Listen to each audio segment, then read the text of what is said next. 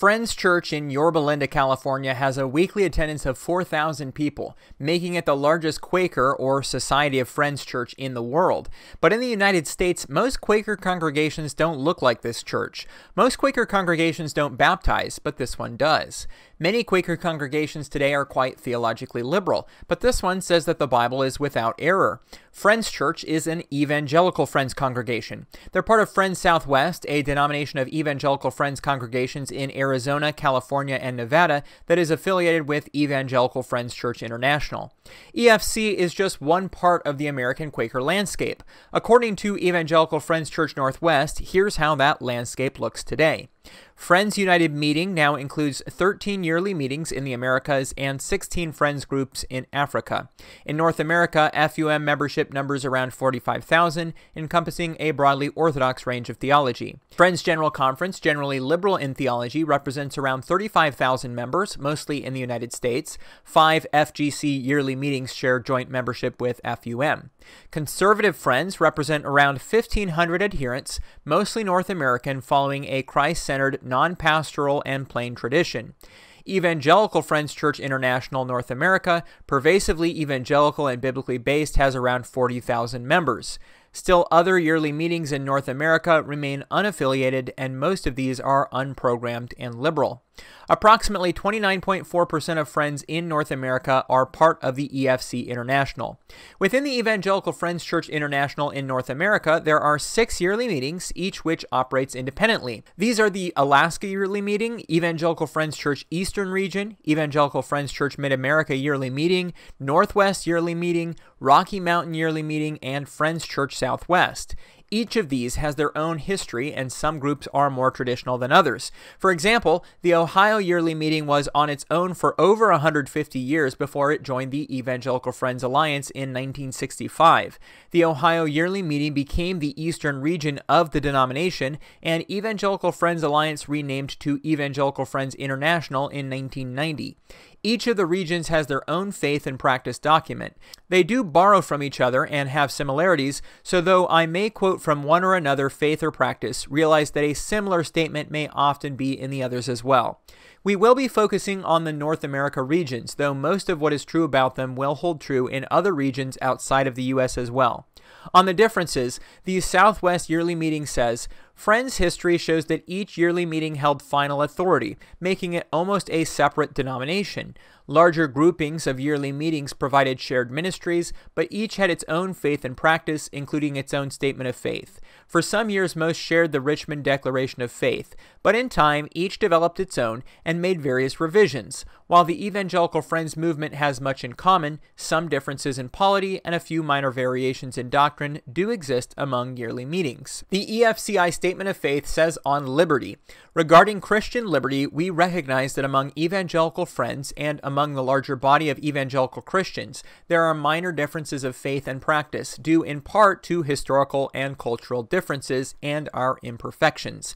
We look forward to the time when we shall all come into a greater unity of the faith. Until then, we believe that in biblical essentials there must be unity. In non essentials there must be liberty, but in all things there must be charity. Now, let's look at their theology. One God in three persons is affirmed, that is, the Trinity. Jesus was born of a virgin, is both God and man. He was crucified as an atonement for the sins of the whole world. He arose, ascended, currently intercedes, and will return. There is a final judgment, and some will have everlasting glory in heaven, and others everlasting condemnation in hell. What about sacraments or ordinances? The statement of faith says, we believe that both Christian baptism and communion are spiritual realities which are not dependent upon physical and outward ordinances.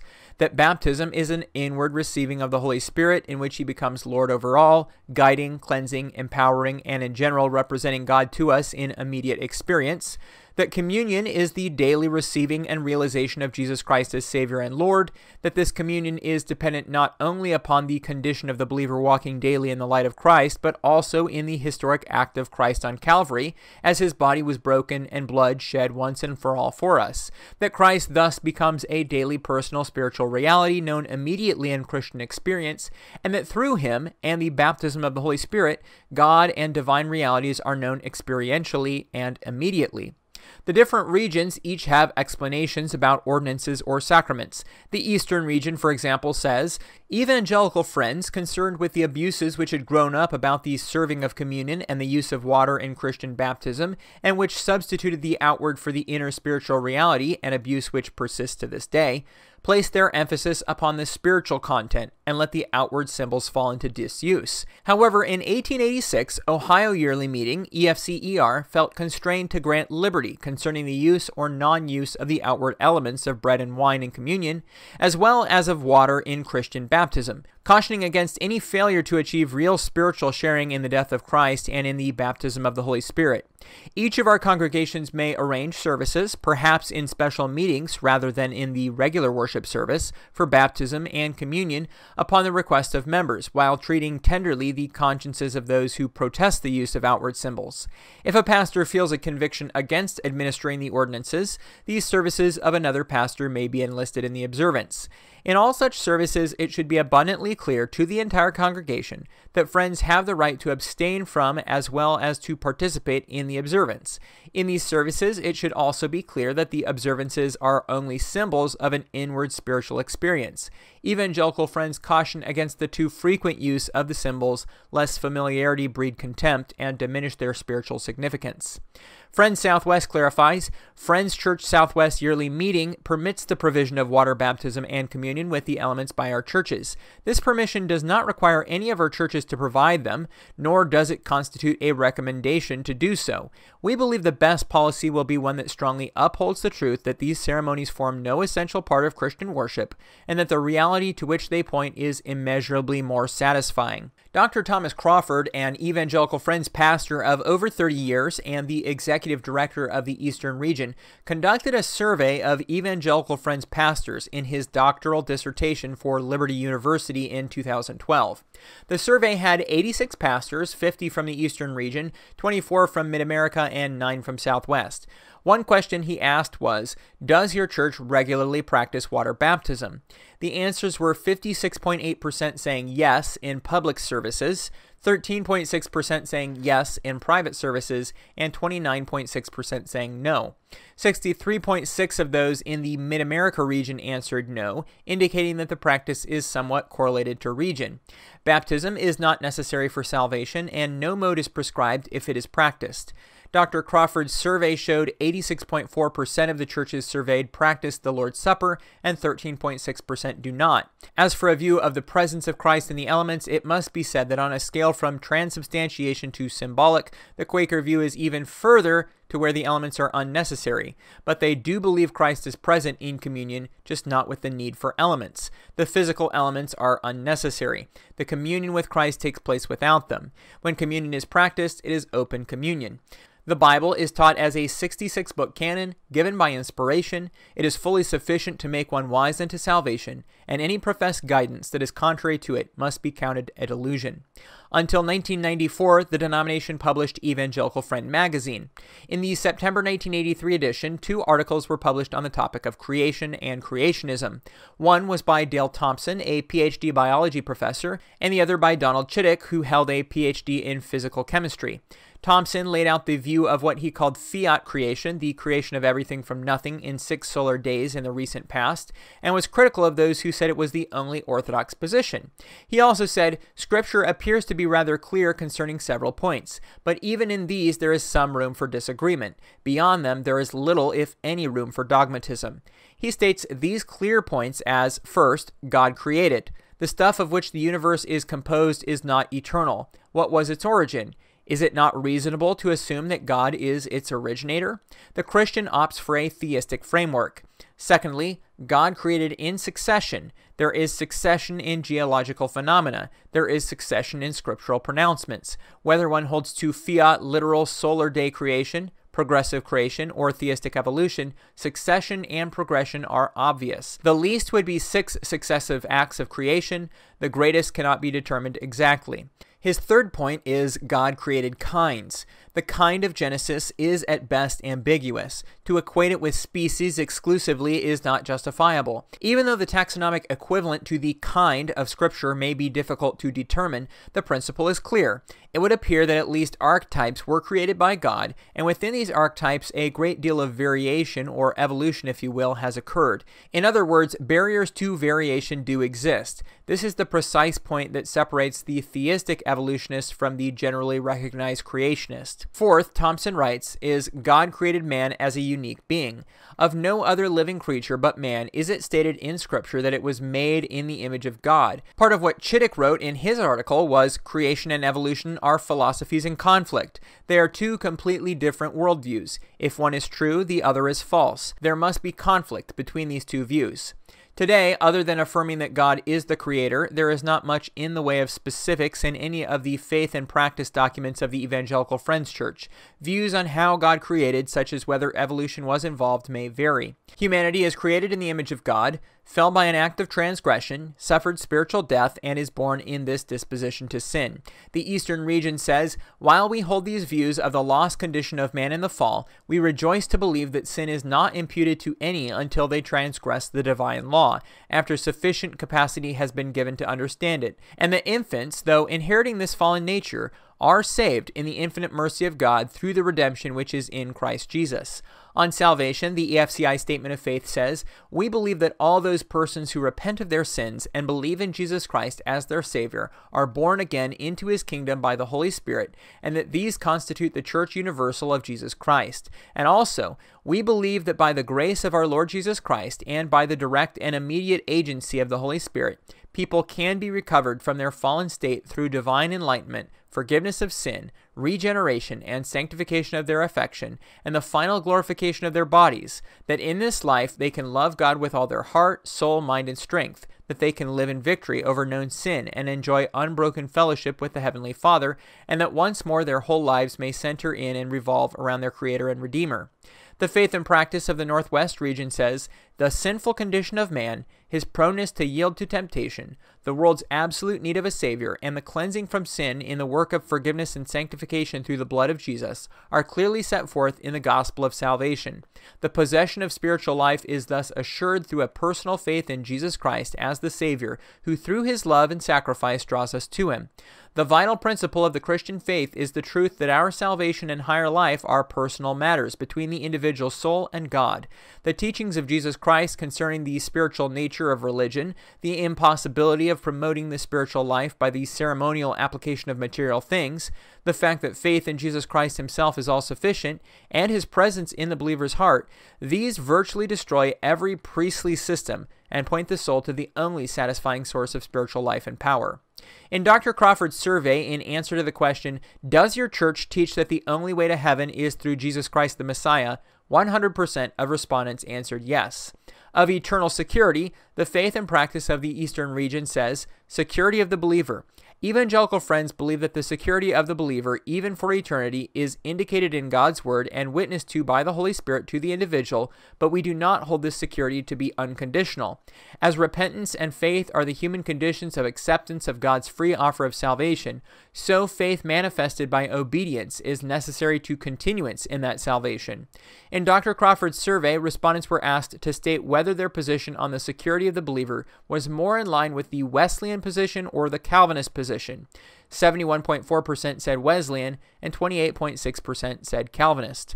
On sanctification, the EFCI Statement of Faith says, We believe the experience of sanctification is the work of God's grace by which affections are purified and exalted to a supreme love to God and others, and the believer is empowered to witness of the living Christ. This is accomplished by the filling of the Holy Spirit in the life of a dedicated and believing child of God, that this is both an act in which the heart is purified by faith and a process in which the life is continuously disciplined into paths of holiness. By submission and availability to Jesus Christ, people become channels for Christ to do his work in this present age. A previous version of the statement of faith read slightly differently, which seems closer to wording of entire sanctification.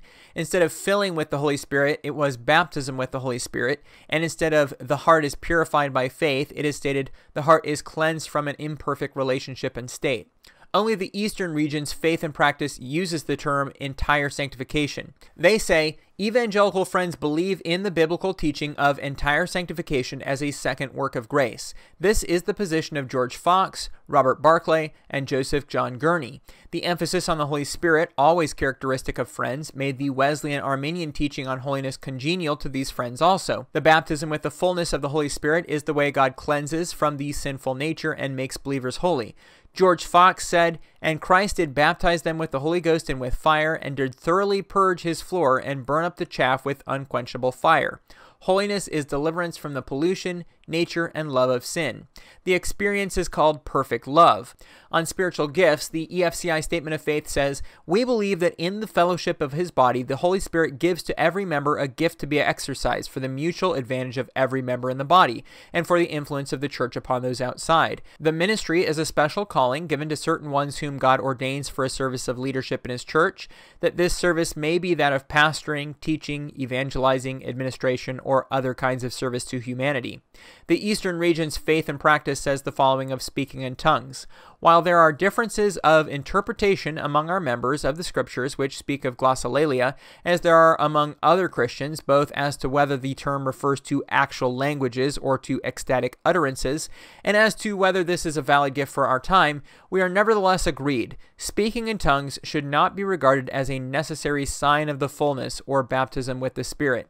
Speaking in tongues should not be made an occasion of division or strife among us. We must be willing to voluntarily give up certain freedoms in order to avoid becoming a stumbling block to those for whom Christ died.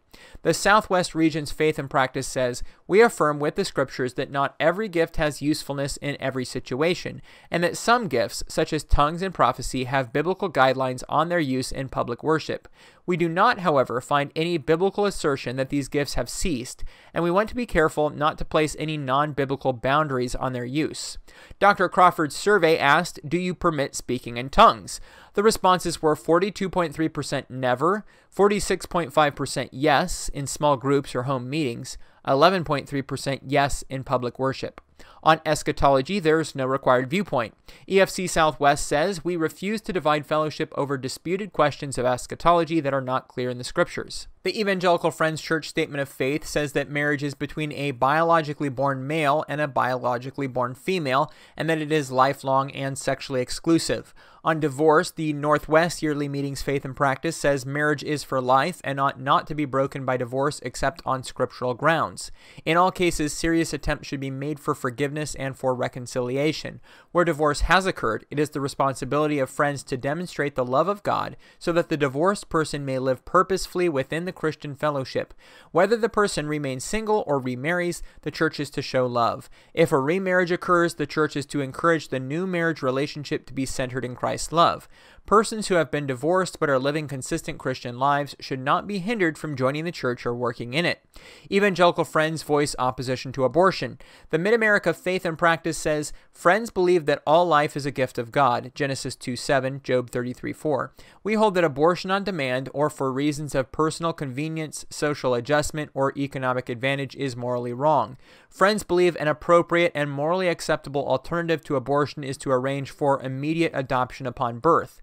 They believe that married couples have the right to exercise their preferences as to means of preventing or avoiding conception.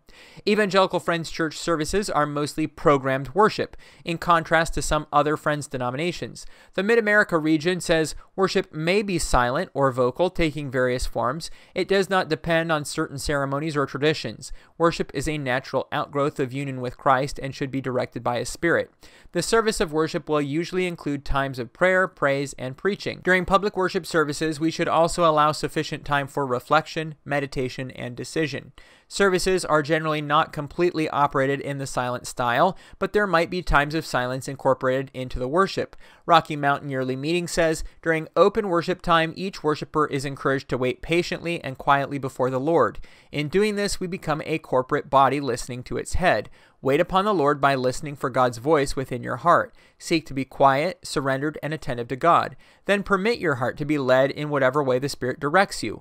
Vocal ministry that is helpful spontaneous words of joy, praise, thanksgiving, and adoration to the Lord. Simple words of witness or testimony, sharing the workings of the Spirit in your own life or the congregation's life. Honest confession of sin can have a humbling and healing effect on the whole congregation. Words of encouragement, speaking perhaps from some scripture passage or personal concern, prophetically declaring God's specific message for his people. Prayer that arises out of the needs and wants of the worshiping community. This is a prayer for the body. A passage of scripture selected on an inner impression from the Spirit and read clearly and effectively. A hymn or song appropriate for the moment. It can be sung either by an individual or by the whole congregation. Music style varies from church to church, with some using traditional hymns, others contemporary praise music, and often a mixture. The Rocky Mountain region's Faith and Practice says Scripture calls the body the temple of the Holy Spirit. Therefore, friends encourage believers to dedicate their bodies to wholesome practices rather than to evil or unwholesome activities. Following are examples of wholesome practices.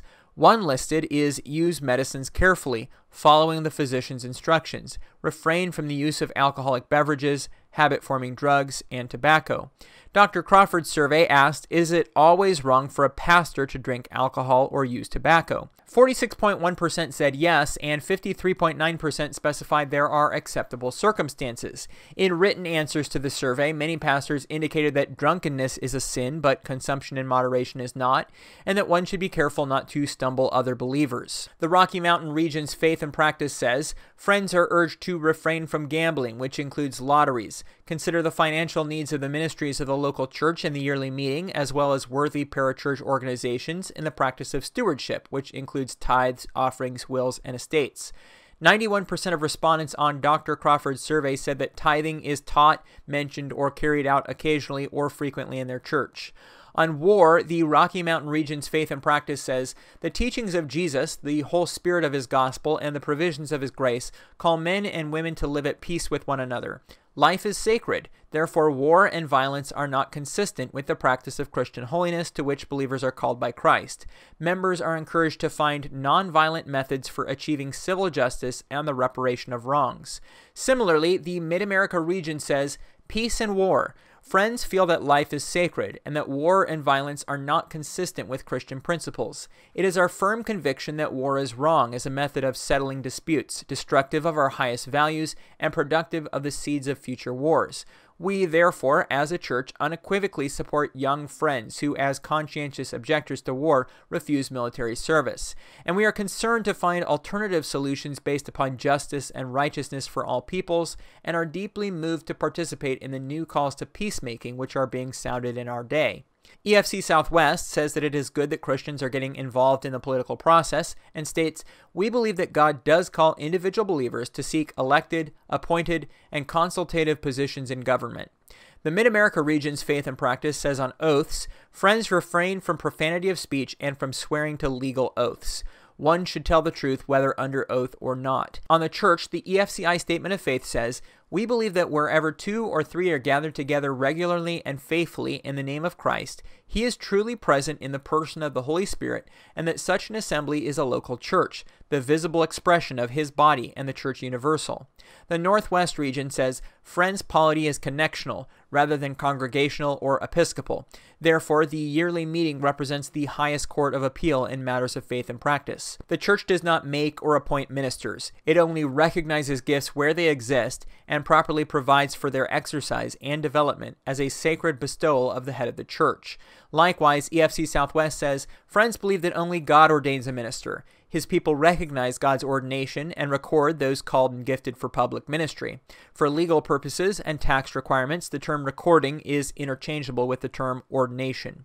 Churches have a pastor or pastors and a board or committee of local elders. As a whole, evangelical friends are in favor of women in ministry, though local churches are free to differ.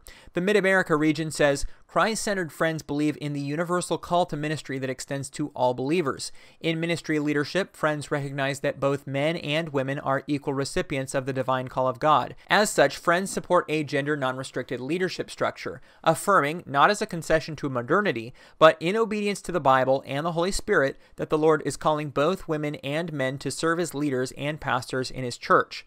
The Rocky Mountain region says God's ordination of women for public ministry has been recognized and recorded among Friends since the 1600s. Women serve as pastors, missionaries, evangelists, teachers, speakers, and in various roles of leadership and responsibility. George Fox University, founded in 1885 as Friends Pacific Academy, is associated with the Northwest Yearly Meeting of Friends and is the largest private university in the state of Oregon, with 4,295 students in the 2021 through 2022 school year. Other schools also exist, like Barclay College in Kansas. The Evangelical Friends Church International is part of the National Association of Evangelicals. In the U.S., EFCI has around 40,000 adherents and roughly 300 congregations, and internationally, there are over 1,800 worship groups and 180,000 worshipers in 36 countries. 50 to 60,000 of those are in Africa. So let's end where we began, at Friends Church in Yorba Linda. Quakerism has been known for diversity, and even within the Evangelical Friends Church, there's room for it. Jennifer Buck in 2017 wrote in Quaker Religious Thought Journal that this church, in her opinion, shows overlap with neo Reformed theology. She says, In Friends Church Yorba Linda, a megachurch of 5,000 plus members and a 100 year history, this manifests in conservative views of eschatology, regular practice of the sacraments, an elimination of women elders and preachers, and a more traditional conservative reading of Scripture. They would understand such alignment of their theology with the neo Reform movement as a move for correct doctrine as well as growth emphasis, even though they would still understand themselves as non confessional. Also, ironically, given my next example, they would reject the second blessing teaching regarding spiritual gifts and tongues, though this topic has been a cause for splits in their church in its past. From talking with some of its pastoral staff, as well as observing the manner in which it partners with the rest of our yearly meeting, I believe it would understand much of its Quaker identity as solely historical, with self doctrines that have essentially become non functioning beliefs. An odd reality from one of the largest Friends churches worldwide, but perhaps not related to size rarely equating to faithfulness in our movement. Perhaps Friends Church isn't the best example of a representative church within the denomination, although they may not agree with what Jennifer Buck says. But one thing can be seen from Buck's article, and that is that there is room in the EFCI for churches that don't toe the line on every point of doctrine. And what could be more Quaker than that?